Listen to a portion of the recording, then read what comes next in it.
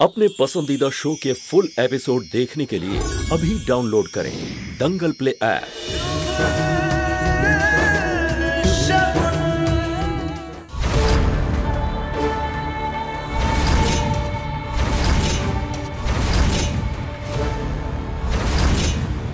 करण जी ये ये गेम खेलने की क्या ज़रूरत है? लग सकती है ना मुझे?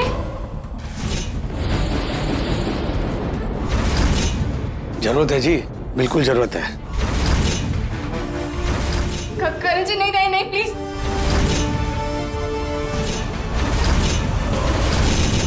पुत्र जी।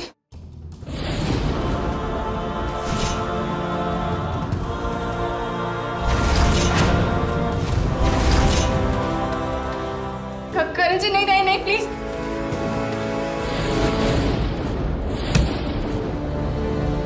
ओ यार रत्ती भर के लिए रह गया। वरना जीत जाना था मैंने।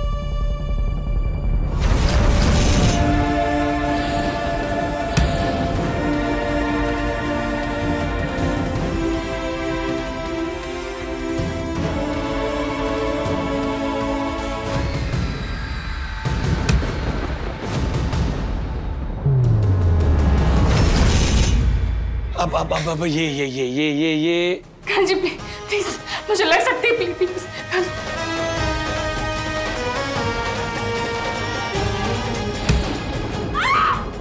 अरे प्रीति जी आपको तो चोट लग गई। खून भी आ रहा है आपको तो। इस सब की जिम्मेवार तू है निकी। तेरे शौक की वजह से मेरी मेरी प्रीति जी को चोट लग गई है।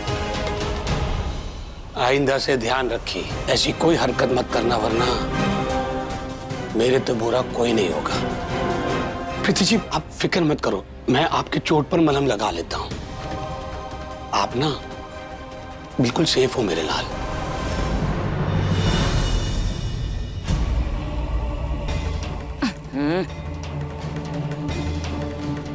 अरे अरे क्या? हे भगवान उठिए उठिए उठिए। अब भी इसको ठीक किया था मैंने। आपको पता नहीं है क्या? लो फिर से। क्या कर रहे हैं आप? उठिए ना। तैयार होकर बिठा दिया। अब बता भी नहीं रहे हो चल क्या रहा है। अरे मेहमान आने वाले हैं और क्या बताऊँ आपको? कौन सा मेहमान? मैं सब बताती हूँ।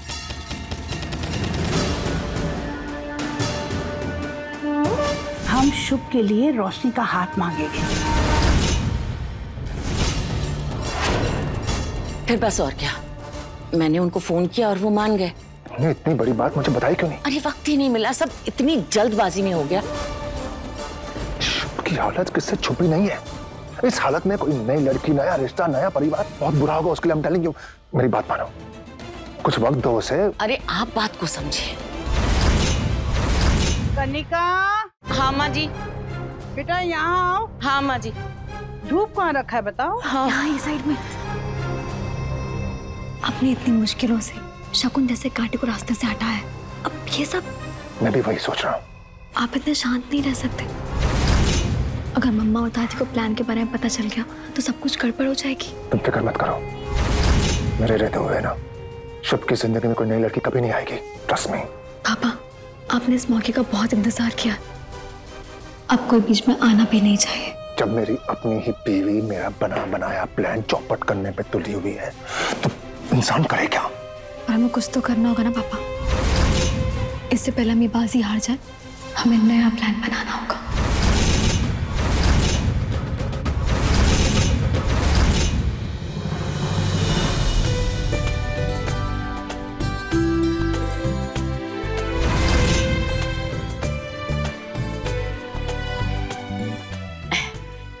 बेटा, शर्मा क्यों रही हो? इसे अपना ही घर समझो।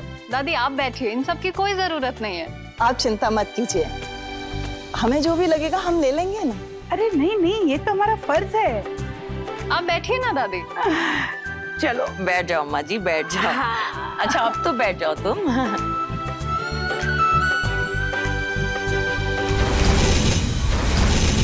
अभी हाल ही में आपके परिवार के साथ जो घटनाएँ घटी उसके लिए हमें बेहद दुख है। जी भाई साहब।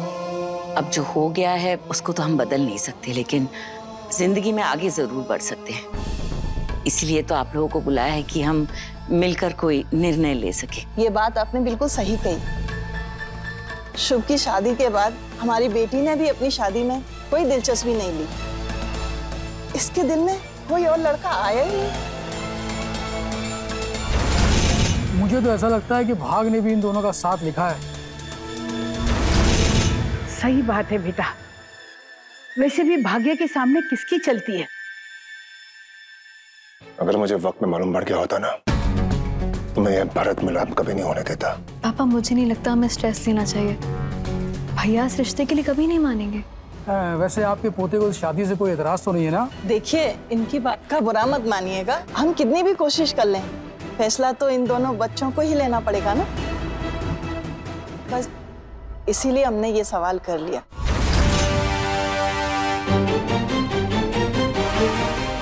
बिल्कुल ठीक कह रहे हैं। बुरा मानने वाली कौन सी बात है इसमें? हाँ, आपका पूछना जायज़ है। लल्ला यहाँ आओ बेटा। अरे आओ बेटा।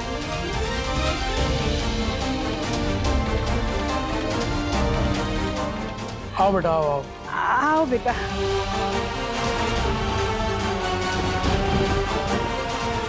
अरे अब, आप लोग संकोच मत करिए। मैं समझ सकता हूँ। इतने बड़े दुख से उभरने में थोड़ा वक्त तो लगता ही है। हमें पता है आप लोग बहुत समझदार हैं। ये तो हमारा सौभाग्य है कि आप हमें समझ रहे लला ये लड़की को पहचाना?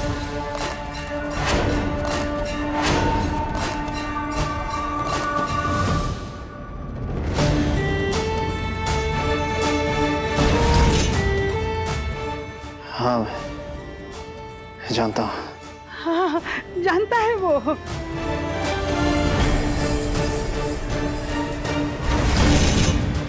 आओ बैठो बैठो।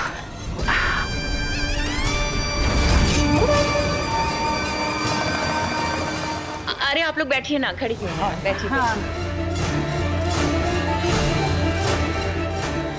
कैसे हो बेटा शुभ? ठीक हो। ये लोग यहाँ क्या कर रहे हैं? हमने बुलाया लल्ला। तुम्हारे लिए तुम्हारी शादी के लिए बेटा।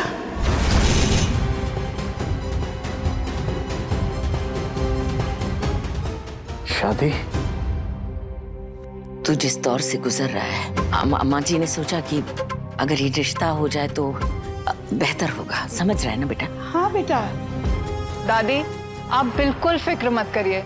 कैसा भी वक्त हो मैं हमेशा इनके साथ हूँ। वैसे भी इस रिश्ते के लिए हमारी तो हमेशा से हाँ थी। बस इनकी हाँ का इंतज़ार था। शुभ तुम्हें कोई एतराज़ तो नहीं? क्या हुआ लल्ला? मंजूर है। राधे राधे राधे राधे कविता।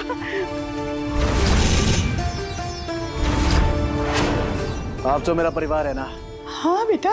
तो आपको कैसे मना कर सकता हूँ? जीते रहो। फिर आप बुरा थोड़ी सोचेंगे। हमें पता था तू हमसे बहुत प्यार करता है। लो बेटा इसी बात पर मुँह मीठा करो। रुकिए।